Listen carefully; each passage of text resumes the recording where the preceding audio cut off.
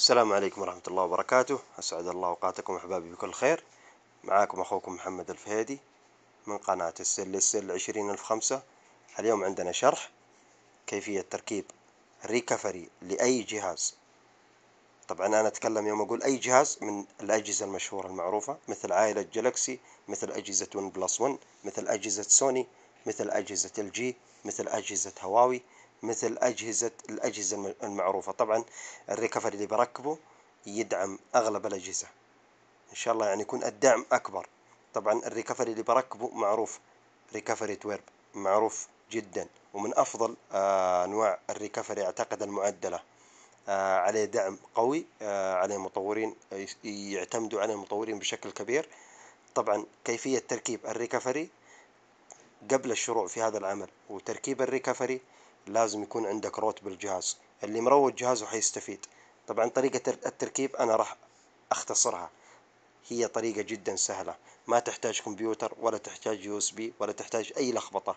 فقط من متجر Google Play تحمل التطبيق اللي هو مثل ما أنتم شايفين. تطبيق TWRP. هذا اللي أنتم شايفينه.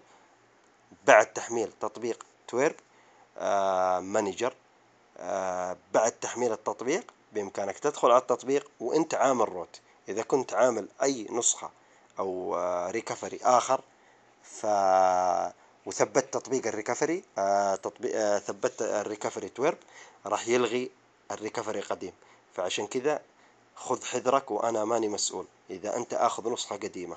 لكن والله إذا جهازك كله مية بالمية والنسخة اللي موجودة حاليا واللي أنت شغال عليها كويسة وتبغى تاخذ لها نسخة وتكنسل النسخة القديمة ركب TWRP وتاخذ لك نسخة من ال TWRP. طبعا آه تطبيق TWRP مختصر.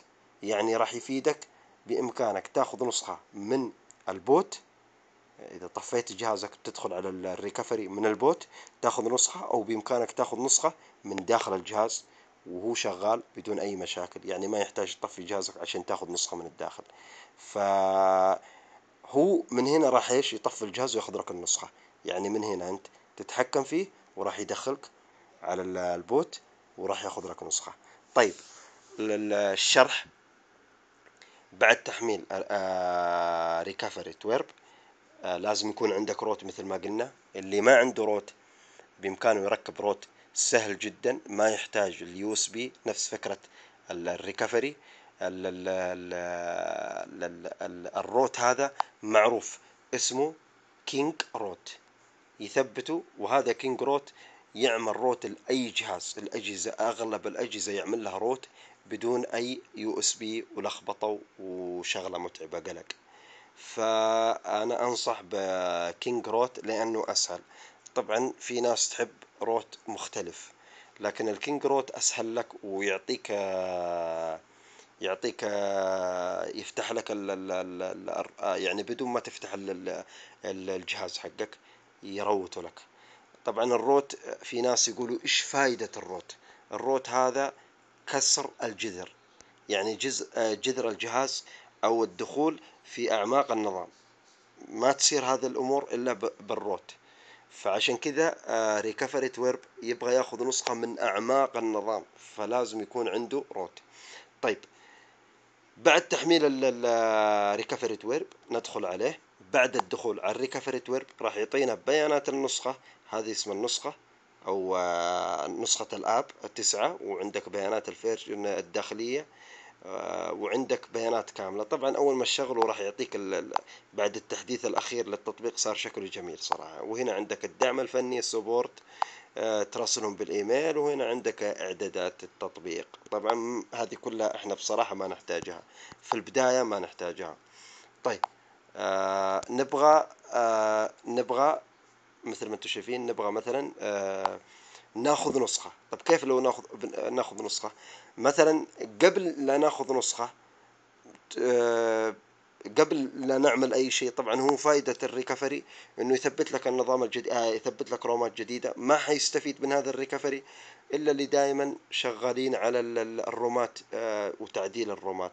هذول راح يستفيدوا بشكل أكثر من هذا ال recovery آه لأنه recovery معدل.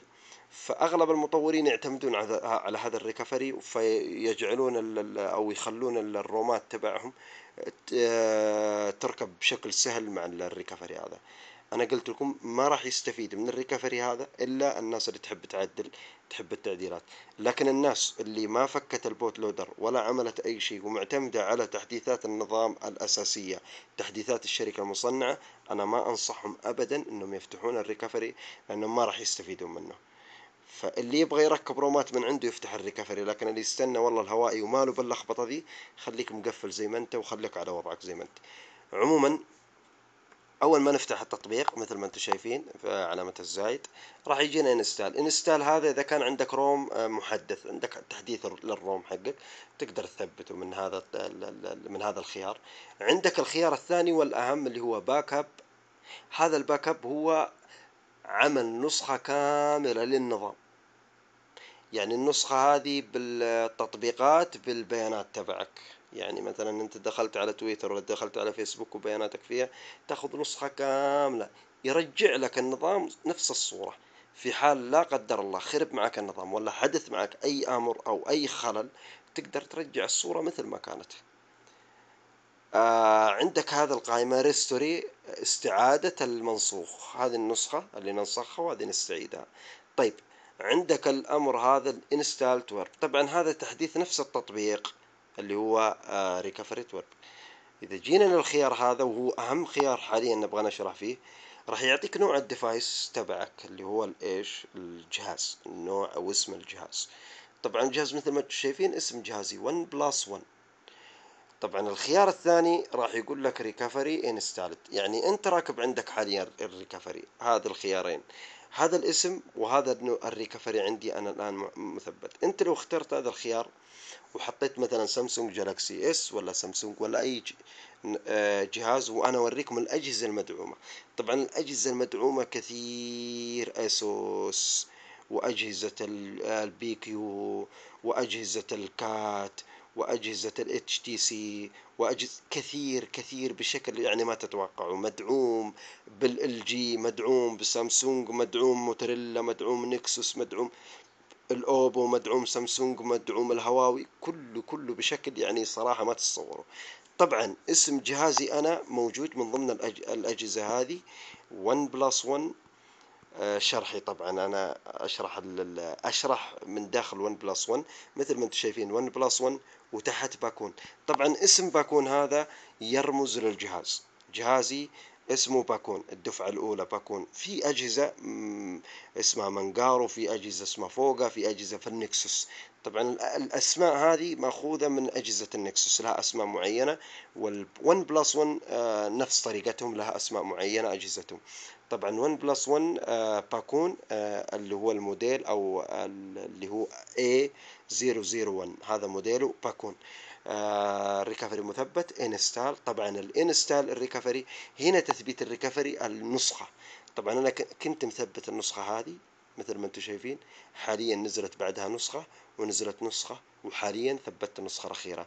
مثل ما قلت لكم عشان تعرف أن النسخة هذه نسخة جهازك وما تغلط فيها يجيك 1 plus 1 1 plus 1 3 0 2 0 باكون image صورة.